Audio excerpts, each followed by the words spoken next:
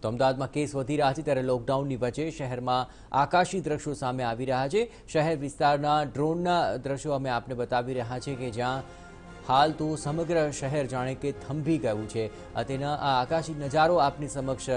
સામે આવી રહ્યો છે મોટા ભાગના મહલ્લાઓની અંદર કોઈ પણ ચહેલ પહેલ જોવા નથી મળી રહી તમામ વિસ્તારોની અંદર લોકડાઉનની સીધી અસર જોવા મળી રહી છે એટલું જ નહીં વાતાવરણ પણ શુદ્ધ જણાઈ રહ્યું છે સમગ્ર દિવસોની અંદર અહીં જે પોલ્યુશન ઇન્ડેક્સ છે તે ખૂબ જ હાઈ હોય છે પરંતુ છેલ્લા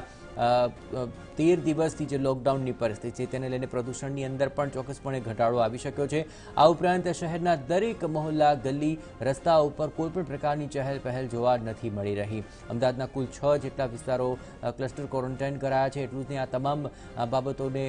લઈને અમદાવાદ જાણે કે થંભી ગયું હોય તેવા, આ આકાશી નજારાના દ્રશ્યો જોવા મળી રહ્યા છે. મુખ્ય માર્ગો ઉપર સામાન્ય દિવસોમાં જ્યાં ખૂબ જ ચહેલ પહેલ જોવા મળતી હોય છે. વાહન વ્યવહારની અવરજવર જોવા મળતી હોય છે. અત્યારે આ તમામ રસ્તા સુમસામ ભાસી રહ્યા છે. ખાસ કરીને જે વિસ્તારોની અંદર લોકો ધાબા પર કે અગાસી ઉપર કોઈ પણ પ્રકારની ચહેલ પહેલ કરી રહ્યા છે, તેને લઈને ડ્રોન દ્વારા નજર રખાઈ રહી છે અને આવા લોકો સામે